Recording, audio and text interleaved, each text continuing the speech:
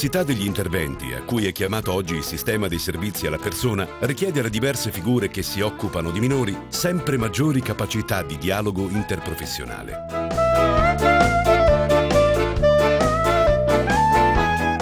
Infatti, considerate anche le significative novità introdotte dalla legge 149 del 2001, le diverse professioni devono sempre più collaborare al fine di promuovere innanzitutto la difesa dei diritti dei minori. Obiettivi comuni di lavoro e risultati condivisi sono la base del lavoro di rete, orientato alla cooperazione tra tutti gli operatori nell'ottica della centralità del minore, che deve essere la chiave di lettura dell'agire professionale di ciascuno.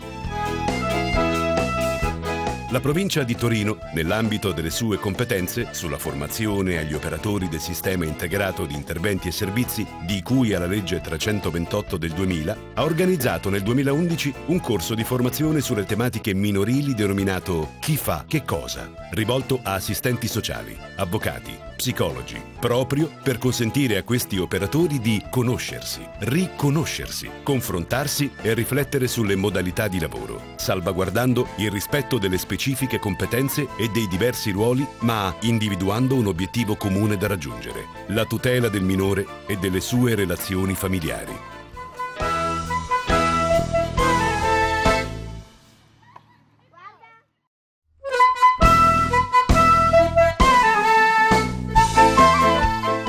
Senti chi parla.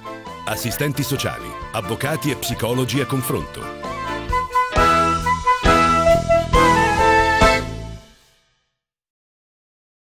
Nell'ambito della tutela del minore, qual è il ruolo che la sua professione svolge?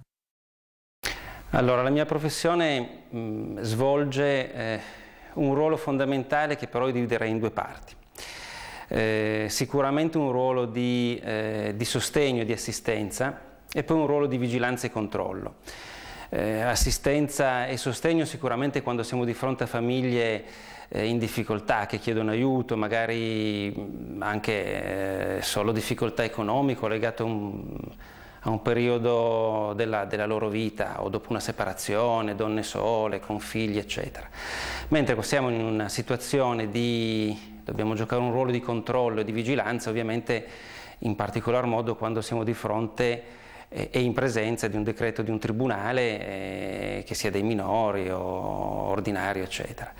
Io però penso che il ruolo fondamentale tra questi è l'unione di questi due di questi due livelli, perché noi giochiamo un ruolo di, di promozione delle, delle, capacità genitoriali delle, delle persone che abbiamo di fronte. Noi dobbiamo promuovere dei processi di cambiamento negli adulti eh, in modo tale che poi possono essere in grado di affrontare eh, il loro compito genitoriale, che in qualche modo è venuto meno.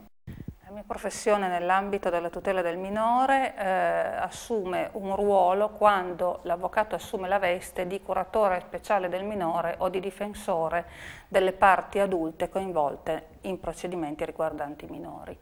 Tutte le volte in cui la legge eh, riconosce un concreto potenziale conflitto di interessi tra i minori e le parti adulte dispone la nomina di un curatore speciale. Si tratta delle procedure riguardanti la limitazione o la decadenza di potestà genitoriale, le procedure di adottabilità eh, che si svolgono avanti al Tribunale per i minorenni e tutte le eh, procedure che eh, hanno in dubbio la, eh, sta, lo status, lo stato civile del minore, la dichiarazione giudiziaria di paternità, l'impugnazione di riconoscimento non veritiero, il disconoscimento e quant'altro. Viene anche in considerazione eh, il ruolo di tutela del minore quando l'avvocato svolge il ruolo di difensore delle parti adulte del processo, in quanto accanto alla tutela degli interessi degli adulti deve tenere presente che la norma impone di considerare prioritariamente l'interesse del minore. Il ruolo dello psicologo è quello di effettuare interventi di prevenzione, diagnosi e cura per tutelare la salute psicofisica del minore. Lo psicologo deve effettuare una valutazione psicodiagnostica del minore e delle sue relazioni familiari con una grande cura e attenzione ai fattori di rischio e di protezione, onde poter eh, verificare il danno eh, che eh, può essere derivato sul bambino e progettare interventi a tutela. Questo compito non può essere svolto da solo, ma deve essere in stretta integrazione e collaborazione con eh, gli altri professionisti che si occupano della tutela del minore ed in particolare con il servizio sociale. Eventualmente è compito dello psicologo in integrazione con gli altri servizi fare un'eventuale segnalazione all'autorità giudiziaria a tutela del minore. In tre parole, ci dica quali sono gli aspetti fondamentali della sua professione nell'ambito della tutela del minore. Il primo aspetto fondamentale secondo me è eh, la professionalità.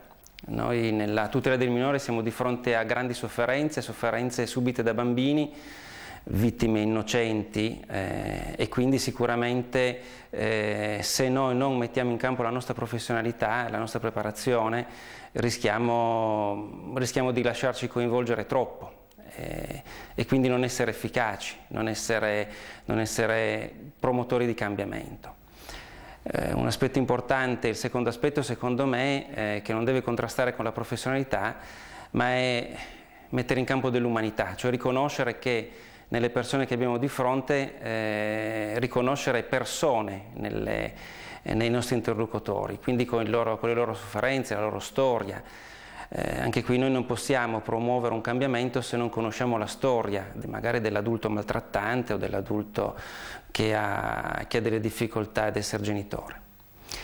E l'ultimo aspetto importante è eh, la tenacia. Noi dobbiamo essere tenaci nel nostro lavoro perché spesso eh, abbiamo difficoltà eh, di comprensione, di confronto con altre professioni, magari con gli avvocati stessi, magari con i giudici, eh, abbiamo difficoltà anche con professionalità che incrociamo nel nostro lavoro, come insegnanti, eh, presidi, che magari non comprendono i nostri interventi alle volte drastici e non, non capiscono che è un tentativo di sostegno e di tutela del minore e, e non troviamo la nostra motivazione nell'autostipendio che guadagniamo e quindi dobbiamo essere tenaci fino alla fine.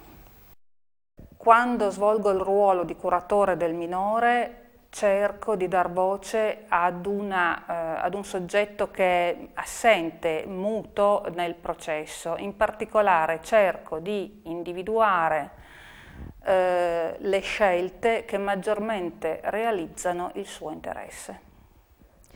Fondamentale è garantire per quanto possibile condizioni sufficientemente buone di crescita del bambino e di soddisfazione dei suoi bisogni di crescita psicologica, emotiva e fisica.